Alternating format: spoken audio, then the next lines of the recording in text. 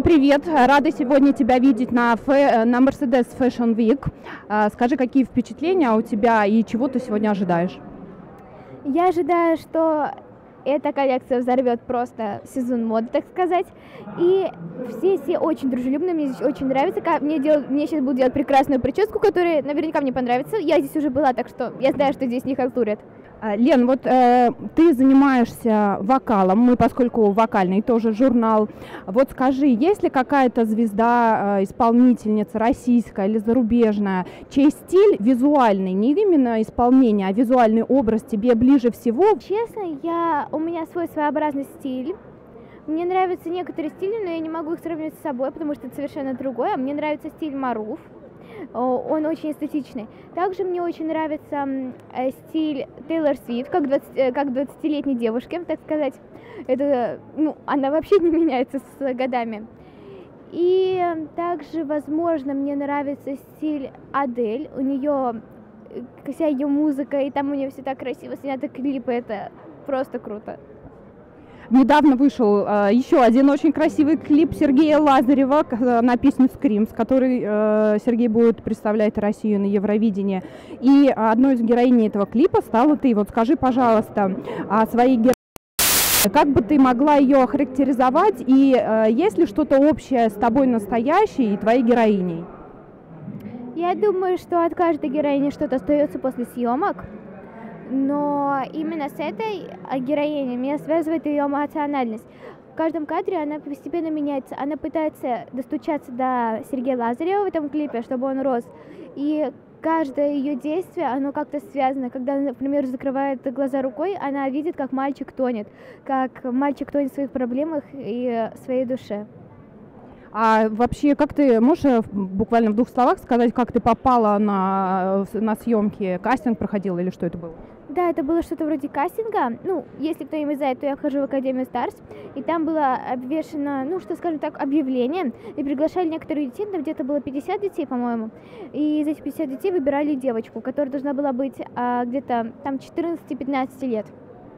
А, ну, поздравляем. Э, вообще э, работа с артистом такого уровня, это волне, волнение, страшно было? Честно, я привыкла. Но там не было как, э, не знаю, такого пафоса. Там было все достаточно более открыто и чувствовала себя в своей тарелке, так сказать.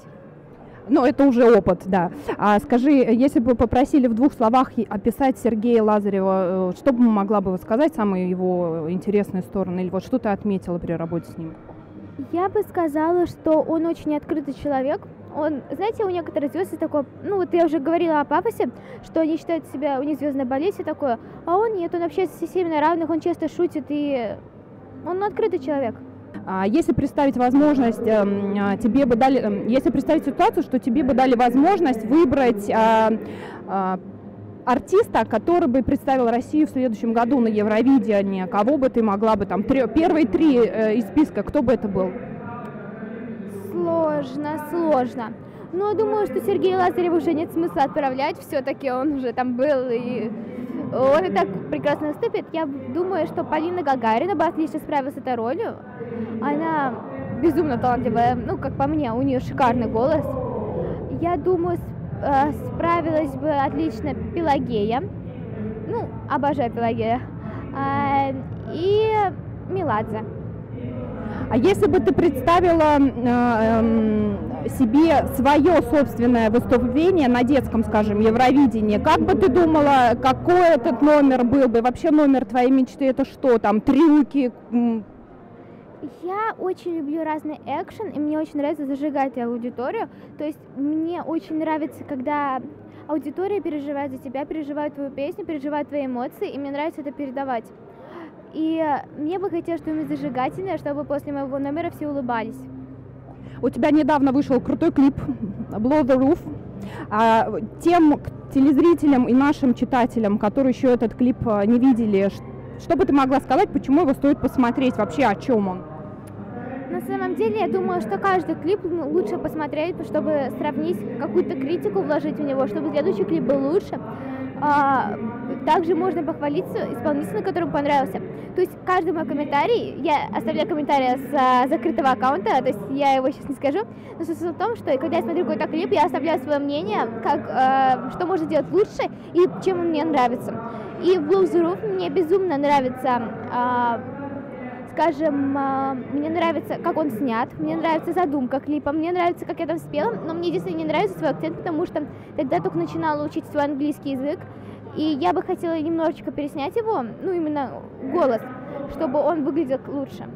А, кстати, про английский язык. А, петь а, сейчас тебе проще на русском, на английском, вообще на каких языках поешь?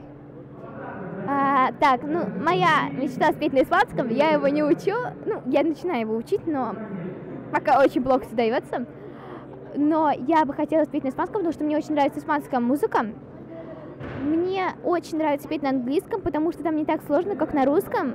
Ну, в России там же две главные буквы А и О. И вот на этих буквах мне сложно петь, и мне это не очень нравится. Я восхищаюсь людьми, которые... Я, я уже говорила про Пелагею, как она поет вот эти вот ноты, как у нее это получается, это просто шикарно. Скажи, а вот э, правда, что ты пишешь книги на английском языке?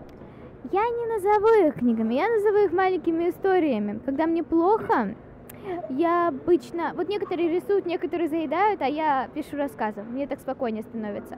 Да, прям как вся боль в душе уходит. А можешь, э, например, ну, ну сказать название на английском языке последнего твоего вот этого рассказа?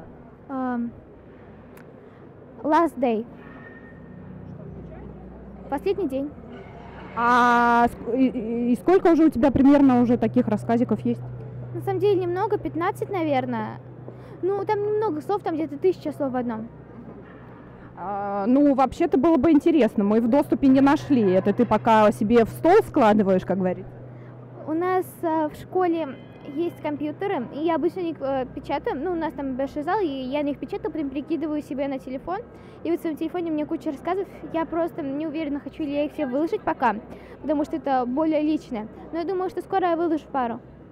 Ну, будет интересно почитать, потом нам расскажешь. И давай тогда, наверное, последние вопросы о своих э, ближайших творческих планах, э, что ждет клипы, выступления, с кем из артистов хочешь выступить, ну и вообще, как, как я свои планы очень редко раскрываю, но мечты я могу, конечно, сказать.